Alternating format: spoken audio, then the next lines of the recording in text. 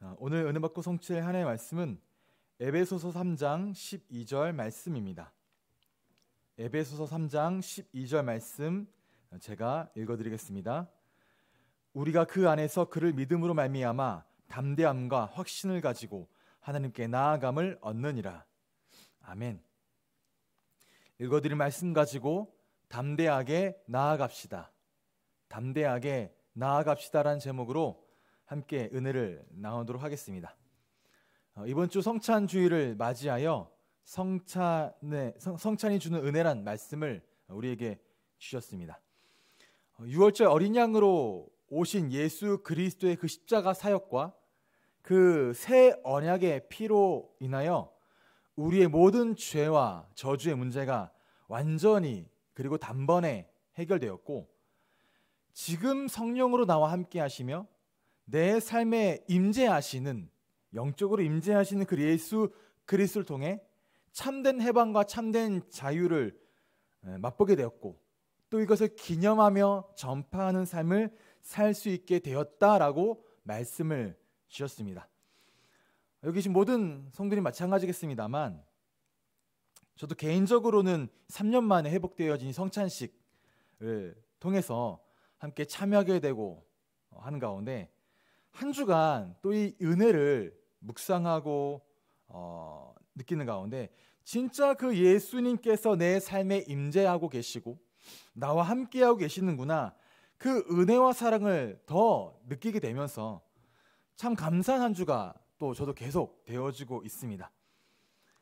우리 모든 성령께서도 이 성찬을 통해 주신 그 은혜, 이 은혜를 진짜 실감나게 체험하시고 또 그리스도 안에서 내게 회복되어진 그 영적인 신분과 정체성을 누리며 오늘 하루를 또 그렇게 보내시기를 바랍니다.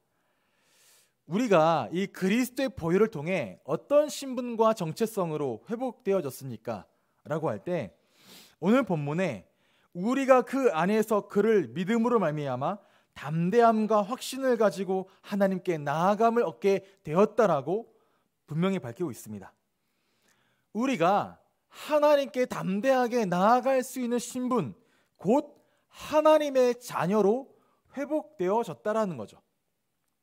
그렇다면 오늘도 나는 구원받은 하나님의 자녀라는 분명한 믿음과 이 정체성을 가지고 오늘도 우리에게 주어지는 모든 현장에 담대하게 나아가 그리스도를 증거하는 그리스도의 절대 제자로 다서게 되시기를 주님의 이름으로 축복합니다.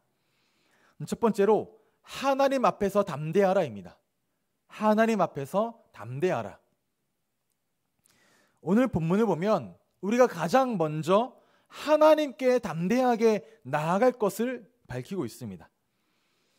즉 그리스도 예수 안에서 예수를 주로 믿는 그 믿음으로 말미암아 우리는 구원을 받았고 구원받은 우리는 이제 하나님 앞에 담대하게 나아갈 수 있는 신분으로 변화되어졌다라는 겁니다.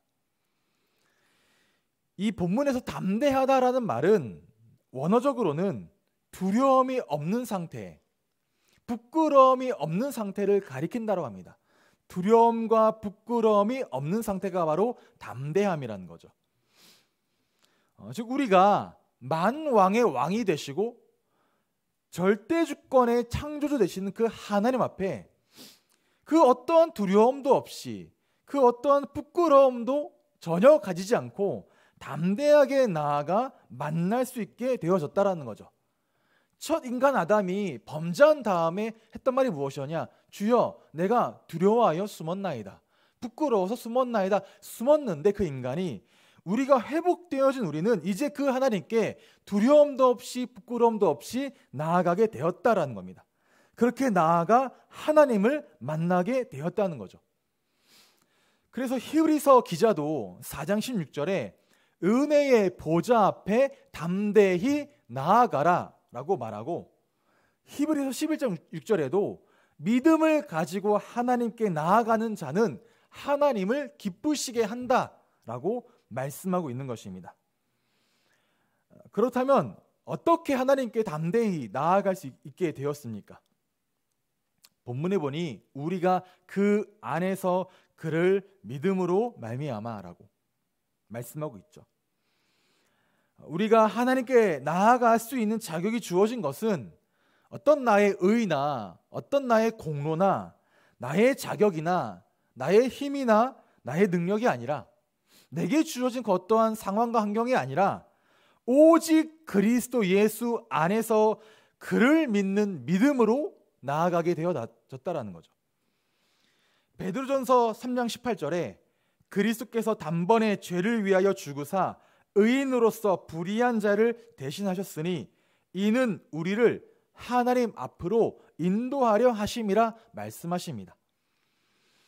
예수 그리스도께서 십자가에서 우리의 죄를 위하여 피를 흘리고 죽으심으로 그 유월절 어린 양의 피로 말미암아 하나님께 나아가지 못하도록 가로막고 있는 우리의 모든 죄 문제를 단번에 영원히 완전하게 해결하셨다라는 거죠.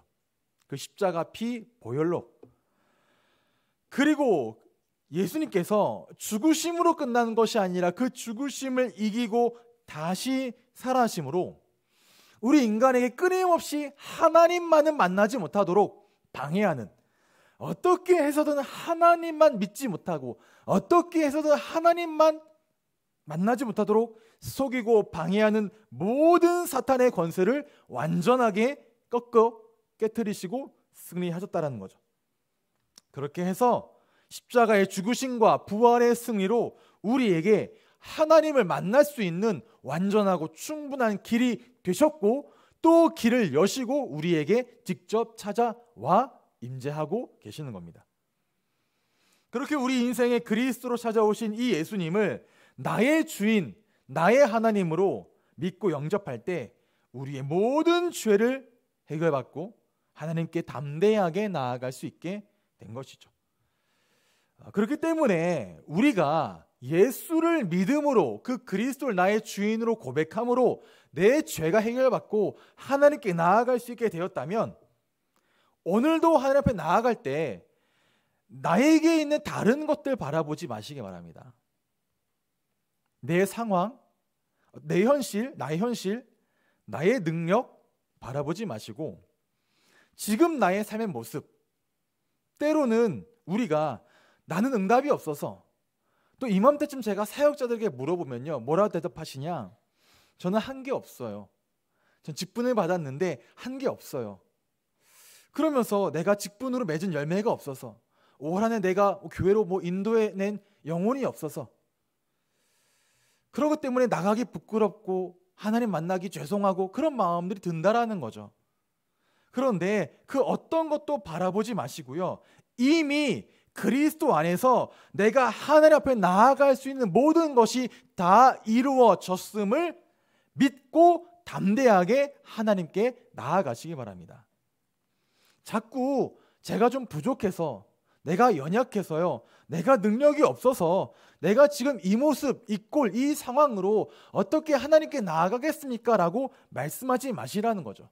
그렇지 않습니다. 내가 나아가는 게 아니고요. 내 능력으로 나아가는 게 아니고요. 그리스도께서 나를 인도하십니다.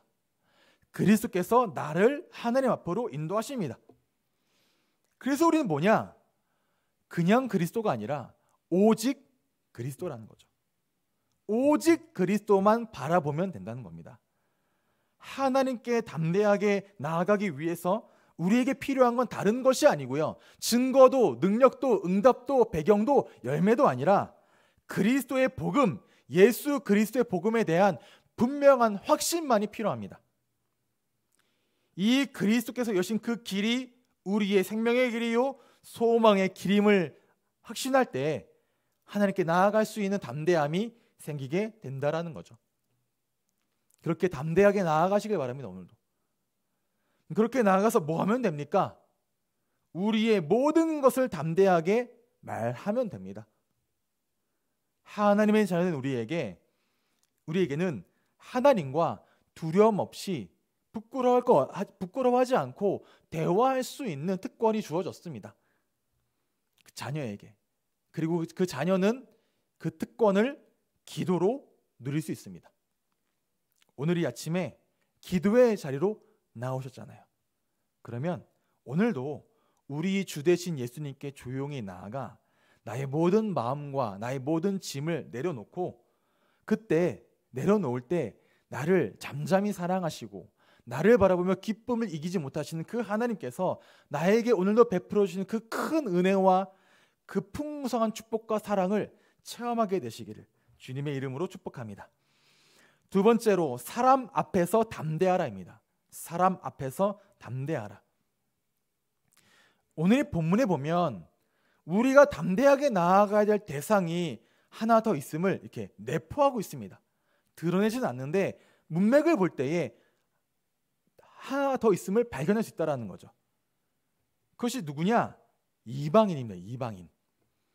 우리가 복음의 일꾼이 되어 이 복음을 가지고 이방인들에게 전파하기 위하여 담대하게 나아가라는 겁니다.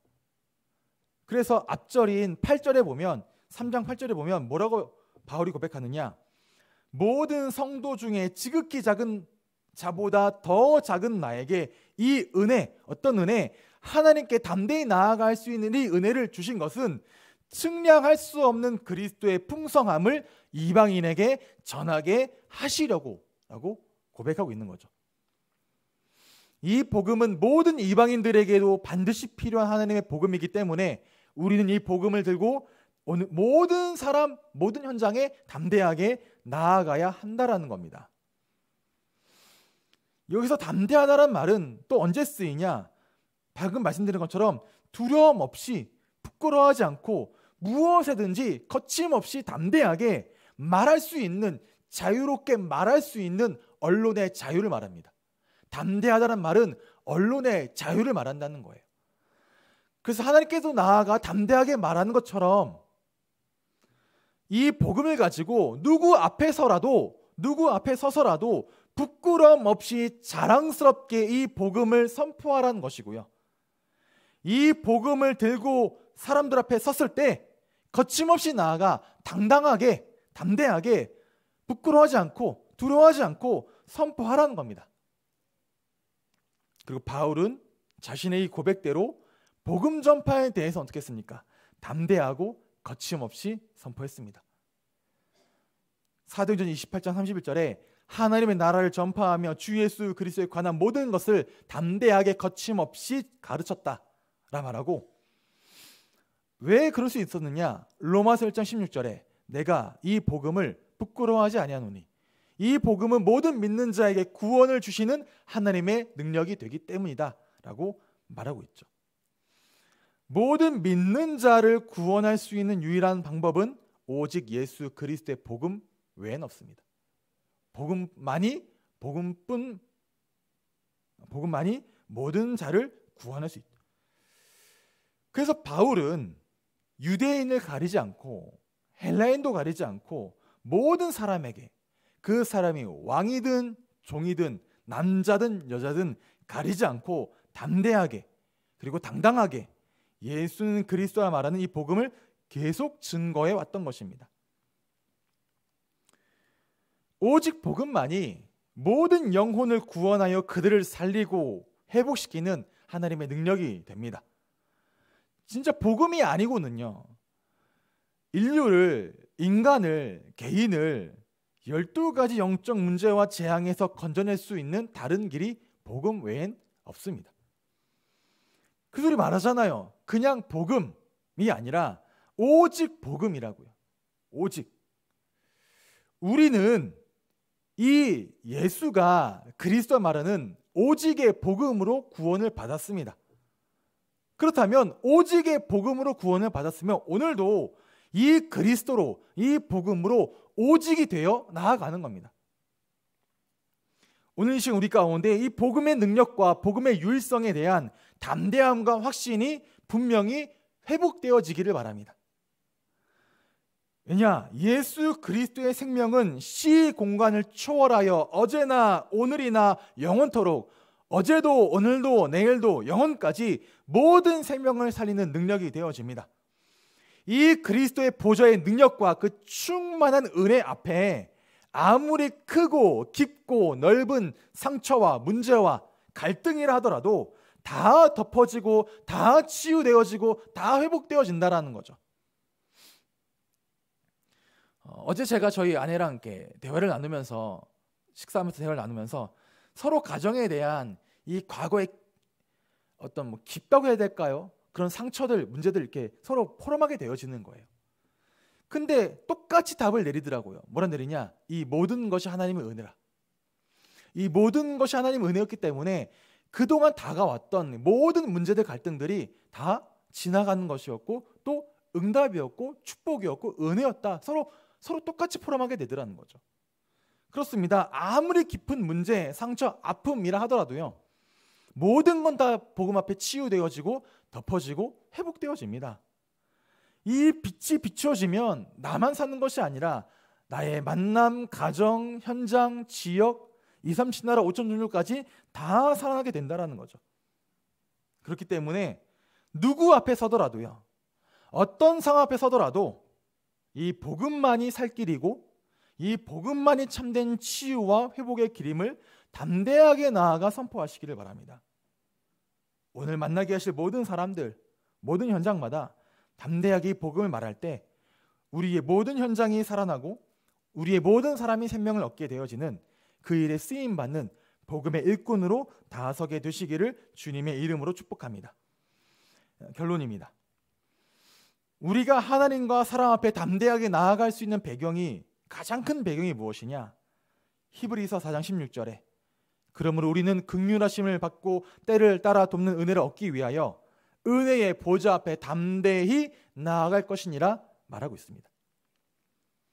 오늘도 우리를 극률하게 여기시는 하나님께서 우리에게 때를 따라 돕는 은혜를 풍성하게 넘치도록 채워 주시기 때문에 그렇습니다. 은혜를 무엇이 은혜입니까? 이번 주 말씀하셨죠. 하나님의 말씀이 나에게 주어졌고 지금 그 말씀이 나에게 이루어지고 있음이 은혜입니다. 지금도 성찬을 통해 우리가 체험한 것처럼 그 6월절 어린 양의 피, 그 피가 내 속에 흐르고 있고 그 모든 죄와 저주와 재앙을 단번에 해결하신 그리스도의 보혈이 나에게 발려졌음이 흐르고 있음이 내 안에 임재했음이 은혜라는 거죠. 그리고 성령께서 함께 하시고 나를 인도하셔서 이 모든 은혜를 은혜로 깨닫게 하시고 이 은혜를 응답으로 체험하게 하심이 은혜라는 겁니다. 무엇이 은혜입니까? 성삼이 하나님이 지금 나에게 임재하시고 임마누엘로 함께 하시는 그 자체가 우리에게 최고의 은혜요. 우리에게 최고의 응답이고 그것이 우리의 모든 것입니다. 그러면 오늘도 그 성삼이 하나님께 담대히 나아가시고 그 보호자의 배경과 축복을 가지고 현장으로 담대히 나아가시기를 바랍니다. 그렇게 현장을 살리고 시대를 살리고 후대를 살리는 그리스도의 증인으로 다서게 되시기를 주님의 이름으로 축복합니다.